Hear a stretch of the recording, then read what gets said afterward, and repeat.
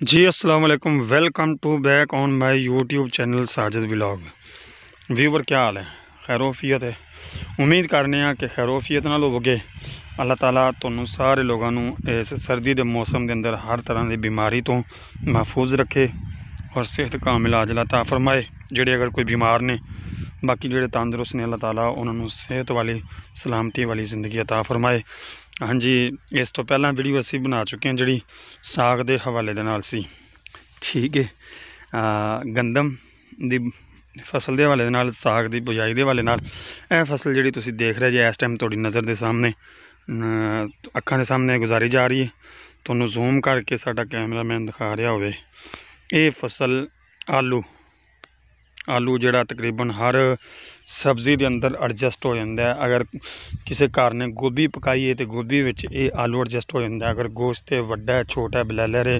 Mutton ਹੈ beef ਹੈ, ਜਿਹੜਾ ਵੀ ਗੋਸ਼ਤ ਹੈ, ਇਹ ਗੋਸ਼ਤ ਦੇ ਵਿੱਚ ਵੀ ਐਡਜਸਟ ਹੋ ਜਾਂਦਾ ਹੈ। ਅਗਰ ਟਿੰਡੀ ਪਕਾਈ ਹੈ, ਉਹਦੇ ਨਾਲ ਵੀ ਐਡਜਸਟ ਹੋ ਜਾਏਗਾ। ਅਗਰ ਕਿਸੇ ਨੇ ਪਾਲਕ ਪਕਾਈ ਹੈ, ਆਲ ਸਬਜ਼ੀ ਤਕਰੀਬਨ ਜਿਹੜੀ ਸਾਡੇ ਇਲਮ ਦੇ ਵਿੱਚ ਹੈਗੀ ਹੈ। ਉਹਦੇ ਵਿੱਚ ਇਹ ਐਡਜਸਟ ਹੋ ਜਾਂਦਾ। ਮਟਰ ਪਕਾ ਲਓ, ਮਟਰ ਦੇ ਵਿੱਚ ਵੀ ਆਲੂ ਨੇ ਐਡਜਸਟ ਹੋ ਜਾਣਾ ਠੀਕ ਹੈ? ਇਹ ਆਲੂ ਦੀ ਫਸਲ ਹੈ। ਤੁਹਾਡੇ ਸਾਹਮਣੇ ਦਿਖਾਈ ਜਾ ਰਹੀ। ਠੀਕ ਹੈ? ਇਸ ਤਰ੍ਹਾਂ ਇਹਦੇ ਬੁਆਈ ਦਾ ਤਰੀਕਾ ਹੁੰਦਾ ਖੇਲਾਂ ਤੇ। ਖੇਲ ਜਿਹਨੂੰ ਕਹਿੰਦੇ ਨੇ, ਜਿਹੜੇ ਦਿਹਾਤੀ ਲੋਕ ਨੇ ਜਾਣ ਲੈਣਗੇ ਖੇਲ ਕਿਹਨੂੰ ਕਹਿੰਦੇ ਨੇ ਖੇਲ ਤੇ ਇਹ ਸਬਜ਼ੀ। ਜਿਸ ਤਰੀਕੇ ਦੇ ਨਾਲ ਆਮ ਛੱਟਾ ਦੇ ਦੇਣਾ, ਗੰਦਮ ਦੀ ਫਸਲ ਨੂੰ ਜਿਸ ਤਰ੍ਹਾਂ ਇਹ ਛੱਟਾ ਦਿੱਤਾ ਪਿਆ ਤੇ ਇਹਦੀ ਬੁਆਈ ਹੋ ਜਾਂਦੀ ਨਾ। ਇਸ ਤਰੀਕੇ ਨਾਲ ਇਹਦੀ ਬੁਆਈ ਨਹੀਂ ਹੁੰਦੀ। ਇਹ ਇਹ ਦੇਖੋ, ਨਜ਼ਦੀਕ ਕਰਕੇ ਤੁਹਾਨੂੰ ਦਿਖਾਣੀ ਇਹ ਜ਼ਮੀਨ ਨੂੰ ਬਰਾਬਰ ਕਰਕੇ ਨਾ, ਤੇ ਉਸ ਤੋਂ ਬਾਅਦ ਛੱਟਾ ਦੇ ਦਿੱਤਾ ਜਾਂਦਾ ਹੈ, ਇਹ ਗੰਦਮ ਦੀ ਫਸਲ, ਤੇ ਇਹ ਉਗਰਿਆਂ ਦੀ। ਲੇਕਿਨ ਆਲੂਆਂ ਦਾ ਇਸ ਤੋਂ ਡਿਫਰੈਂਟ ਹੈ। ਇਹਦੀ ਤਿਆਰੀ ਵਾਸਤੇ ਪਹਿਲਾਂ ਜ਼ਮੀਨ ਦੀ ਸ਼ੇਪ ਇਸੇ ਤਰ੍ਹਾਂ ਹੀ ਕਰਨੀ ਪੈਂਦੀ, ਸ਼ੇਪ। ਫਿਰ ਉਸ ਤੋਂ ਬਾਅਦ ਇੱਕ ਦੂਸਰਾ, ਤੀਸਰਾ ਸਟੈਪ ਜਿਹੜਾ ਆਉਂਦਾ ਨਾ, ਉਹ ਹੱਲ ਹੁੰਦਾ ਖੇਲਾਂ ਵਾਲਾ। ਠੀਕ ਹੈ, ਦੋ ਤਿੰਨ ਦਰਮਿਆਨ 'ਚ ਲੱਗੇ ਹੁੰਦੇ ਨੇ ਖੇਲਾਂ ਪਾਉਣ ਵਾਸਤੇ। ਤੇ ਉਹ ਚਲਾਇਆ ਜਾਂਦਾ ਜ਼ਮੀਨ ਦੇ ਅੰਦਰ।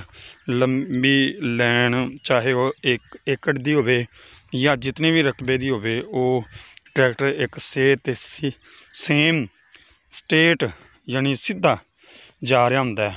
ਠੀਕ ਹੈ, ਤੇ ਉਹ ਆਪਣਾ ਖੇਲਾਂ, ਤਕਰੀਬਨ ਖੇਲਾਂ ਦੀ ਫਸਲ ਜਿਹੜੀ ਹੁੰਦੀ ਨਾ, ਮੱਕੀ ਹੁੰਦੀ ਹੈ ਕਪਾਸ ਹੁੰਦੀ ਜਿਹਨੂੰ ਅਸੀਂ ਨਰਮਾ ਵੀ ਕਹਿੰਦੇ ਆ ਉਸ ਤੋਂ ਬਾਅਦ ਇਹ ਆਲੂ ਆ ਗਿਆ। ਆਲੂ ਤੋਂ ਬਾਅਦ ਉਹ ਜਿਹੜੀ ਤੁਹਾਨੂੰ ਇਸ ਤੋਂ ਪਹਿਲਾਂ ਅਸੀਂ ਮਟਰੀ ਦਿਖਾ ਚੁੱਕੇ ਹਾਂ, ਇਹ ਜਿਹੜੀ ਮਟਰੀ ਸੀ। ਮਟਰੀ ਵੀ ਖੇਲਾਂ ਦੇ ਵਿੱਚ, ਖੇਲਾਂ ਤੇ ਬੁਆਈ ਕੀਤੀ ਹੋਈ ਹੈ। ਠੀਕ ਹੈ।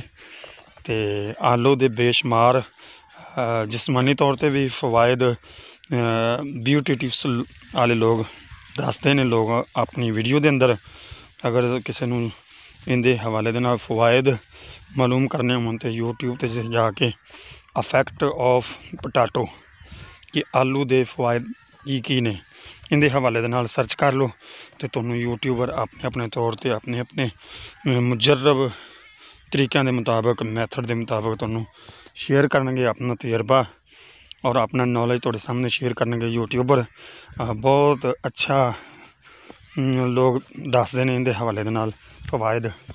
ਲੇਕਿਨ ਇਸ ਟਾਈਮ ਸਾਡੀ ਵੀਡੀਓ ਦਾ ਮਾਹਵਰ ਫਵਾਇਦ ਦੱਸਣਾ ਨਹੀਂ ਹੈ, ਬਲਕਿ ਫਸਲ ਦਿਖਾਣਾ ਤੁਹਾਨੂੰ ਮਕਸਦ ਹੈ ਇੱਥੋਂ ਆ ਕੇ ਛੋਟੇ ਜਿਹੇ ਹੋ ਗਏ ਨੇ, ਸ਼ਾਇਦ ਪਾਣੀ ਦੀ ਕਮੀ ਪੇਸ਼ੀ ਬਣੀ ਹੈ, ਕਿ ਪਾਣੀ ਦੀ ਇਹਨਾਂ ਤੱਕ ਉਨੀ ਜਿੰਨੀ ਮਿਕਦਾਰ ਪਹੁੰਚਣੀ ਚਾਹੀਦੀ ਸੀ, ਨਹੀਂ ਪਹੁੰਚ ਸਕੀ।